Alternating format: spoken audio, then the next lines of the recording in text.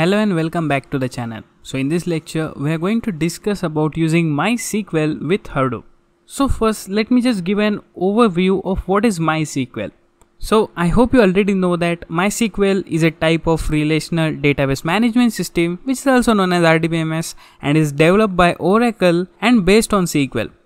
So in the previous lectures, we have seen how to use SQL to do a data analytics on Hadoop by using the Hive. So we have used Hive as well as we have used Pig, which is also similar to SQL scripting, which uses SQL language to work with the data present on Hadoop.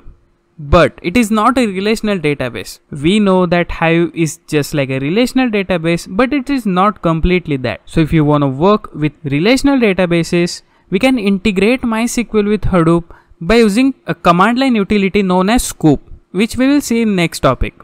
But at first, why we use it actually and why do we need to use MySQL or any other relational database with Hadoop?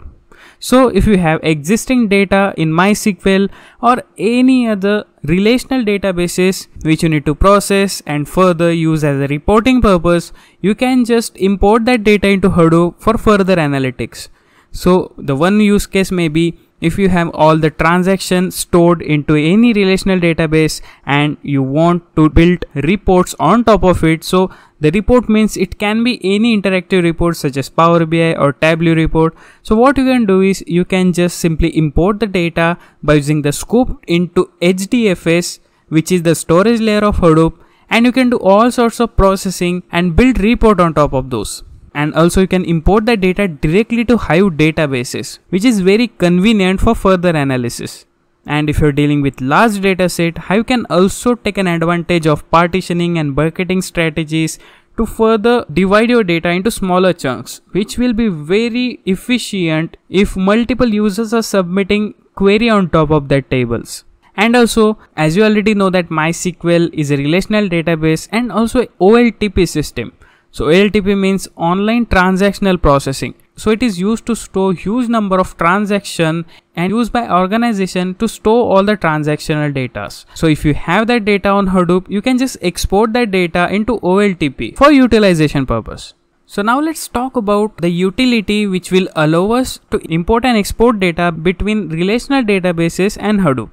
So for that purpose, we use the tool named Sqoop.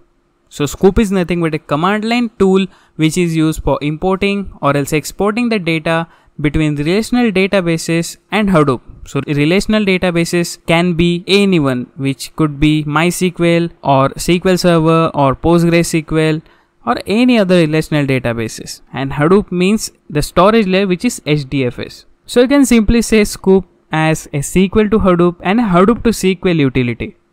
But how it works actually, that we will see in the next topic. So in this graphical representation, you can see that how the Sqoop utility is working for exporting or importing the data between RDBMS or else it could be any document based system or a enterprise data warehouse and the Hadoop ecosystem which can contain either Pig or HBase or Hive or directly HDFS as a storage layer. So what it does under the hood is when you submit any Sqoop command, it will just convert it into the map reduce job. So primarily it will only create mapper function because we are not reducing any data, right? We are not using any aggregate function or anything else to shuffle the data around or to reduce it. So for that purpose, it will only create the mapper functions. So this Sqoop job will be converted into this mapper function which is then distributed across the different data nodes on your Hadoop cluster which will take the advantage of parallel processing and either import or export the data between these two layers and we can also use different configurations such as we can also use the number of mappers which could be used for the specific Sqoop job that we will see in the next topic. So you can either use the full load or else you can go for the incremental load. So for that purpose, you have to provide the column. On top of it, you have to submit that incremental load and also provide the last updated value for that specific column. So for example, if it is a timestamp column, you have to provide the last updated timestamp for the last Sqoop job which have executed so that this present Sqoop job will start from that last executed timestamp it is very simple so in our next lecture what we are going to do is we will just use Sqoop command for importing the data from mysql so in our HDP sandbox, MySQL is already pre-installed, but we need to do some configuration to give permission to our HDP sandbox to communicate with the MySQL and import or export the data within those systems. So for that we just need to run some commands and after that we are good to go. But till now you have to remember that Sqoop is nothing but a command line utility which you can run either from any job scheduler such as Oozie job scheduler or Rundeck job scheduler. So if you don't know this, don't worry, we will be covering those in the subsequent lectures or else you can just kick off the cron job to execute your Sqoop command. And for connecting to these relational databases, we can use the JDBC connector. So JDBC connector will allow us to connect to the different RDBMS to our Hadoop cluster. And we can simply import or export the data between them. And also it has one option named Hive import. If we give it in the Sqoop import command, it will directly import that specific table or entire tables in a database to the Hive database. And you can pretty much execute all the HiveQL queries on top of that tables. But let me show you some basic syntaxes of import and export Sqoop commands. So these are pretty much the basic Sqoop import and Sqoop export commands which we are going to run in our next lecture.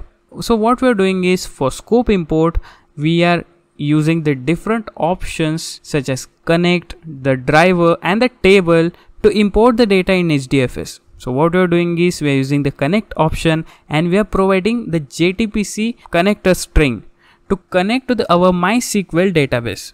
So our MySQL is already installed in our Hadoop cluster. So all we can do is we can use the connect option and provide the JDBC connector so that it will connect to the local host and again we have to give the database name. So here our database name is movie underscore rating. So first what we need to do is we will just create this movie ratings database and create some tables in it so that we can import it in the HDFS. And again we have given the driver. So the driver will be com.mysql.jdbc.driver and also after that you have to provide the table. So here we are importing the movies so that this table will be imported into our HDFS and we can also give the specified directory in which we are going to import that specific data. So it is also a mandatory field which we will discuss in the next lecture. But to tell you simply, these are all the parameters which we are passing while using the Sqoop command utility. And the next one is the Sqoop export. So similar to import, we can also export the data present in Hadoop to the MySQL database. So all you have to do is again give the connect JDBC connector, again give the driver and give the table name. And also you have to remember that this table name should be present in the MySQL. So either it will be empty or it has the data. The table should be present in the database. Otherwise our Sqoop export job will fail. And you have to give the export directory. So this is the directory in which that movies table resides. So here it is stored in the Hive warehouse direct which is a default directory to store all the Hive database files and also you have to provide the delimiters. So here we have provided the ASCII value 1 for providing the delimiter. So this is how you can use the Sqoop utility to either import and export data between HDFS and the different relational databases. So in the next lecture, we will be getting our hands dirty where the first step will be the configuring MySQL so it can communicate with our Hadoop cluster and then we will play with some data. So we will just create one database and sample tables in our MySQL database and insert some data to it. And also we can just use the Sqoop utility to import that specified tables in our Hadoop cluster. So it will be very fun and you will definitely enjoy it.